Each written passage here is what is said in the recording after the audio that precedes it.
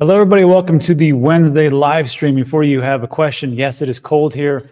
It is uh, below 60 degrees, so I'm not uh, very happy. Also, I've been uh, fasting for the last three days, so I'm kind of uh, tired. And, and if I get irritated, it's just the food talking. So let's just jump into it and talk about this post today.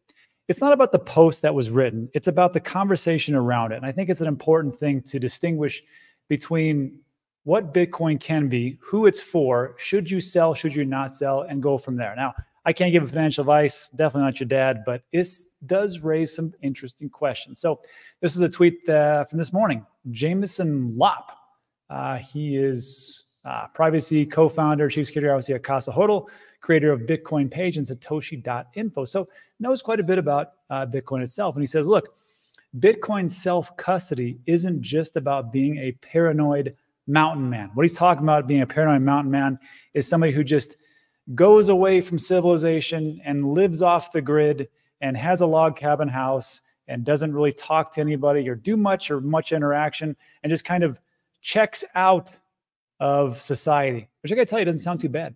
But he says, you know, there are many long term negative ramifications to convincing people to trust third party custodians. One, centralizing coins into a few hands increases systemic risk of loss and seizure. And we've saw that with a lot of the centralized exchanges and what has happened. And we can just take a look at, oh, I don't know, Mt. Gox, FTX, Celsius, Voyager, BlockFi. You get the point.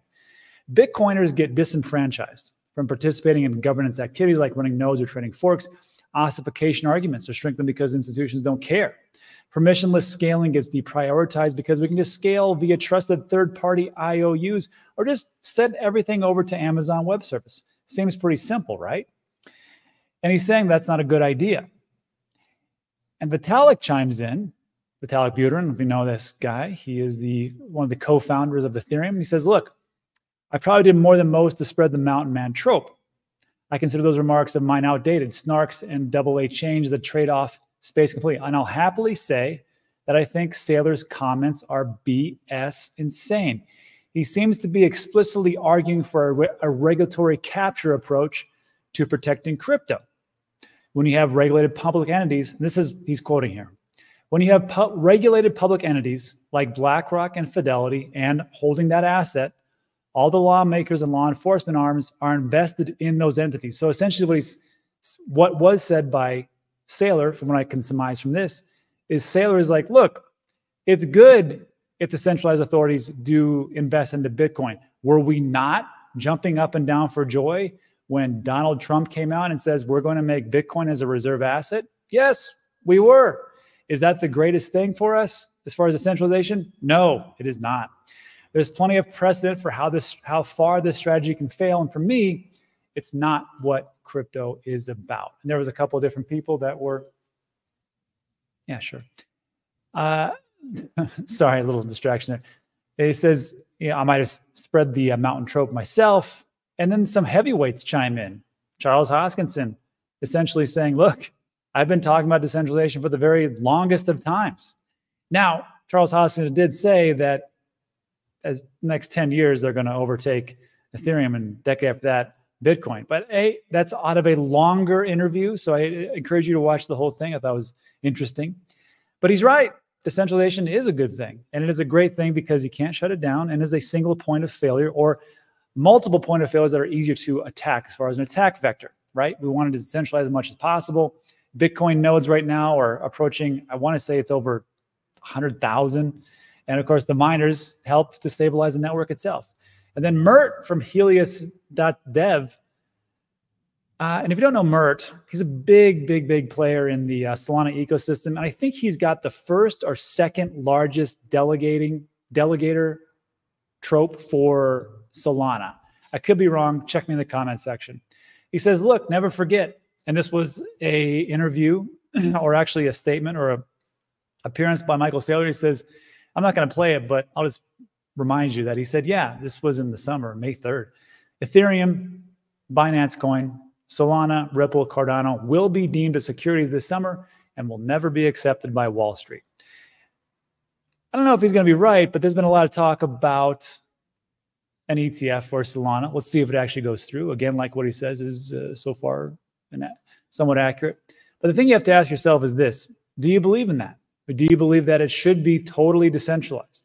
We should have no centralization. People should not let anybody else custody their Bitcoin, and they should learn about cold storage.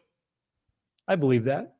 However, I will say this I think they're both right. I'm going to tell you why. Because our umbrella should be as broad as we possibly can get. If you are an individual, I know some people say, well, they shouldn't even invest anyhow. Look, I'm trying to get as many people here as we possibly can. If you have a number, a large number of people, and they don't want to custody it because they hear the horror stories, let them do an ETF. I don't care. Let the banks custody if they really want to. They're going to learn. They're going to learn about why it is important. Give them time to understand and do the research. Bring them in with a Trojan horse, ETF, banks, I don't care. As time goes on, we teach them and, and instruct them about why it is so important for self custody. We teach them not about Ledger. Ledger, me personally, this is just my personal opinion. I think it's too cumbersome and it's an outdated technology. It is very safe, that is true. But in all honesty, do you really want to sit down with your mom, dad, grandma, grandparents, or just your buddies and go, this is how you use a ledger? And you got to connect it here and download this and whatever else. It's great for the OGs like us, but I'm telling you right now, I think we need a better option. I personally like Tangem. That's just my personal choice, but I use both. So to break into this and really kind of get into the, the nitty gritty, because I like I, I like the conversation. And the question you have to hands have to ask yourself is, well, first of all, should you even sell Bitcoin, as well as the self custody or non custodial aspect? So, the thing about selling, I get where Michael Saylor is coming from, which is you never sell your Bitcoin. Again, normies are not going to figure this out. And it works out really well for Michael Saylor. Because remember, I mean, once he put Bitcoin on the balance sheet, what happened to his stock? It went up magnificently, and I think it's beating everything in the S&P 500 correct me in the comment section. I think MicroStrategy is crushing it. And if you may know, over the last 20 years or so, it did okay, but it didn't do anything until Bitcoin was put on the on the balance sheet. And that's what surprises me why I don't understand why more corporations don't do it. And some people will say, well, there's a there's a legal loophole and there's and there's problems with getting on the balance sheet. Look, if you're about to make that much money, I guarantee corporations can make it work. They'll find a way to make money. Anyhow, there's no reason to sell Bitcoin. And I don't know if you are like Michael Saylor, if you're a billionaire and you can sell your, or excuse me, not sell your stock, you can take a loan against your stock, buy, borrow, die, right? You can have this stock, you can borrow against it, take out massive loans, fund your extravagant lifestyle, whatever that is.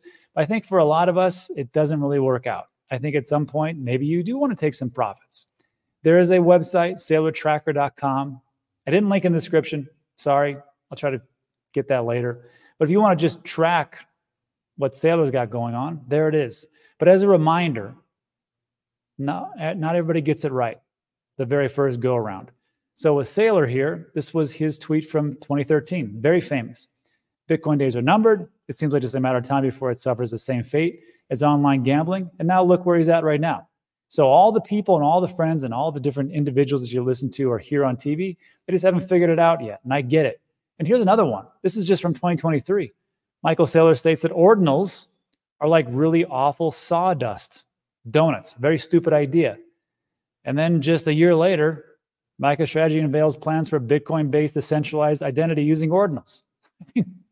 Look, it's just there's just a progression of what you actually have to learn. What's the difference between runes and ordinals. Runes are optimized, and this is all in the Bitcoin blockchain.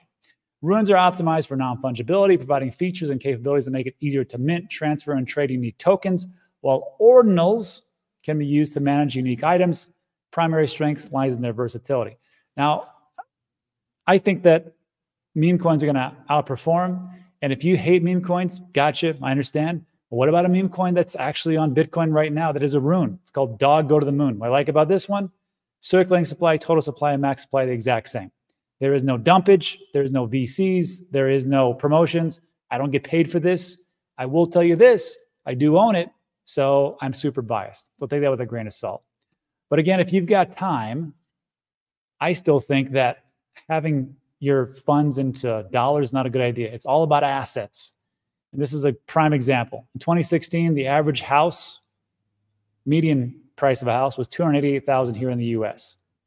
And just 4 years later, it was 328,000, and 4 years after that it was 434,000. Heck, even here in El Paso, I've been seeing average house, not average, but some pretty high-end houses like for 460,000. Like you got to be kidding me. The whole thing comes down to this. If you don't hold Bitcoin, the dollar will get inflated away. If you don't hold Bitcoin, everything else that's denominated in dollars will go up, and everything else that goes into Bitcoin will go down. Does will it go down day to day? No, it won't. You have to have a long time horizon. That's where the four years comes in. But again, nobody's perfect. I just took some profits. Uh, I don't know, four days ago or something like that.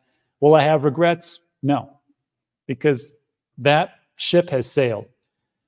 Just know if you do take profits, this is from Captain Bitcoin, and even this guy got it.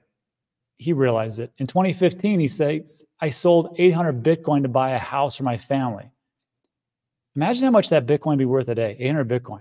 But you can't do that. In 2018, I sold my house and bought back 50 Bitcoin. People think I'm crazy for selling my house. Please know that my only regret is to have sold my Bitcoins. But should you never sell? This is from El Salvador. And it was Bitcoin was legal tender in June 2021. June and November, it doubled. And then in November 2021 to November 2022, you lost 77% for the value of Bitcoin. Should they have sold it? Well, if you got to pay your bills, you got to do something, right? You're not a billionaire. Maybe you don't have the stocks, but if you can hold on to it, hold on to it. Not a bad idea. So the whole thing it comes down to this is I don't know what Bitcoin's going to be. I think it's just like the old technology that we haven't figured it out. Like iron was created in 5000 BC.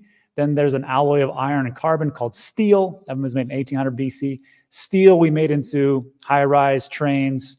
Even uh, uh, the X Falcon, I think, has steel on it and there's different different panels to it. But again, it's technology that took a long time. So in 2009, people just thought it was going to be Bitcoin's going to be peer-to-peer transactions. We know that's not happening. Gold 2.0, inflation hedge, yeah, maybe. But I like this response from Guy over at Coin Bureau. And he said it really comes down to three things right now. And if people ask you just like, why do you believe in Bitcoin? I mean, you can start with the centralization, but they're not going to figure that out.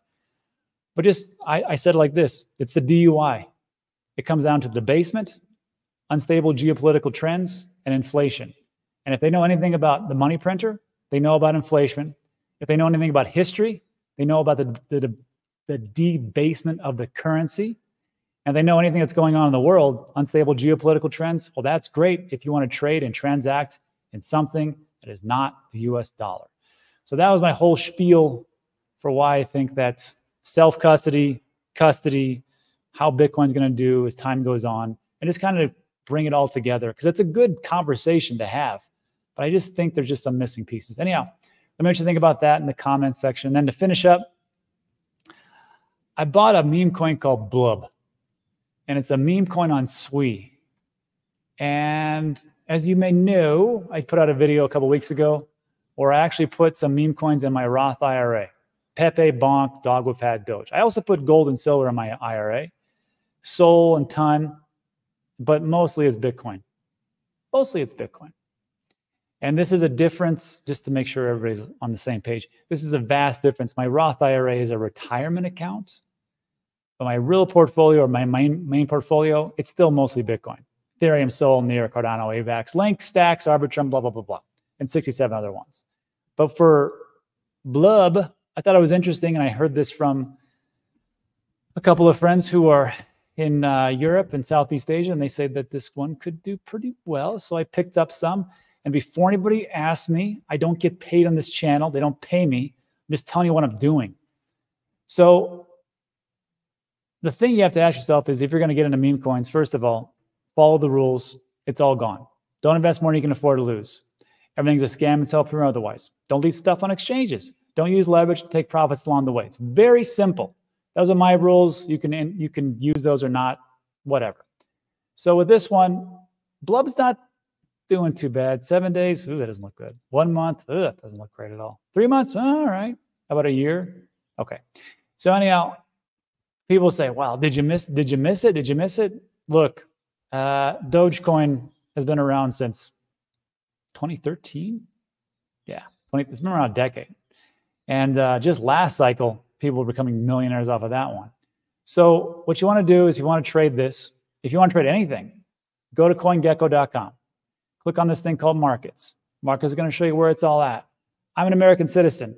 I can't use XT.com. I don't think. CoinEx, Orbit, MEXC. I know I can't use that one.